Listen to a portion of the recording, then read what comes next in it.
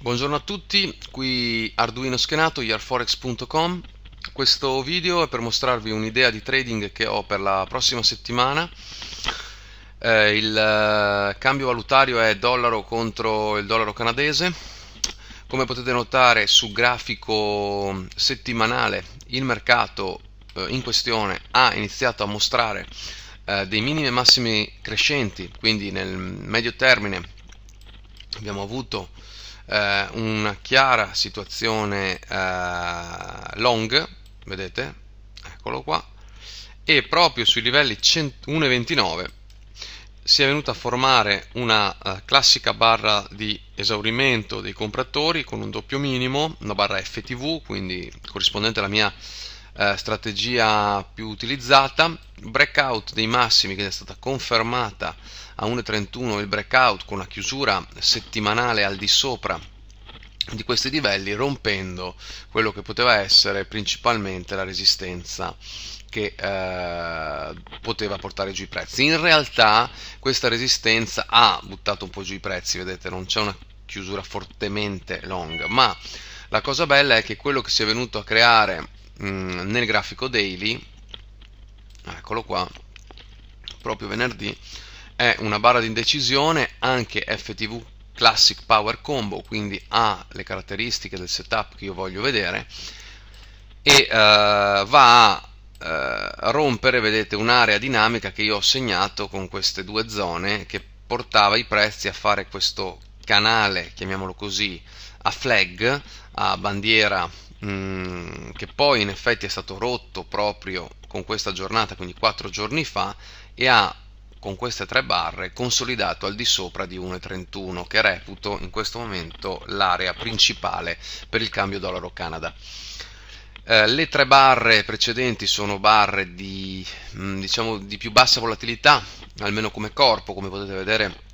c'è stata molta oscillazione, ma poi in realtà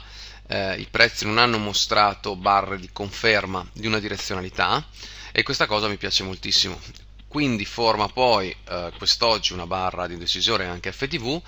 e eh, credo che eh, almeno per quanto mi riguarda personalmente potrei pensare di andare a tradare questo cambio eh, con un ordine di acquisto buy stop, quindi un ordine di acquisto breakout sopra i massimi fatti proprio nella giornata di venerdì, uno stop inserito nella zona eh, sotto appunto i livelli di minimo e di supporto con appunto il, la ricerca dei massimi che è appena sopra 1.33 quindi 1.33.15 potrebbe essere almeno il primario target. In realtà poi se questa coppia ci ha abituato a fare movimenti anche molto più repentini, quindi si potrebbe anche pensare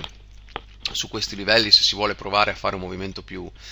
più ampio di andare a break even e poi provare a lasciare il prezzo correre nuovamente fin quanto, fino, al, fino a quando non ci dovesse il mercato dare ehm, l'idea dell'esaurimento della tendenza. Quindi in questo caso se io vado a prendere, vedete, i livelli poi principali di supporto e resistenza in questo caso sono quelli eh, settimanali, abbiamo un livello intermedio daily che è l'1.35 e poi sopra 1.36 e 1.37. Quindi diciamo che il segnale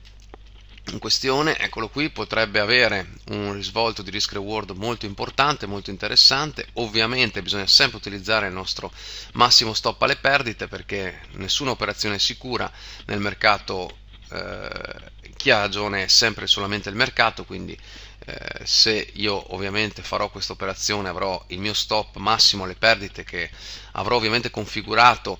eh, prima, quindi cercando di perdere esclusivamente quello che posso permettermi di perdere, ma fatto questo poi se il mercato dovesse andare si lascia correre, si cerca di magari spostarsi nelle giornate con uno stop profit e quindi con un'operazione bloccata in profitto. Bene, per oggi è tutto, se volete stare connessi con me potete andare su www.yearforex.com oppure seguirmi nei miei social Facebook, LinkedIn e Instagram. Io vi saluto e vi auguro una buona giornata e un buon trading simple. Ciao a tutti.